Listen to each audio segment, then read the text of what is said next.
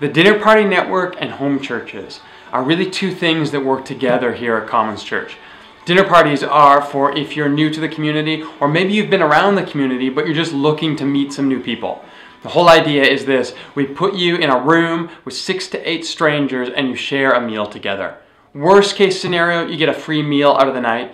Best case scenario is you really connect with one or two people in that room and you develop new friendships from there.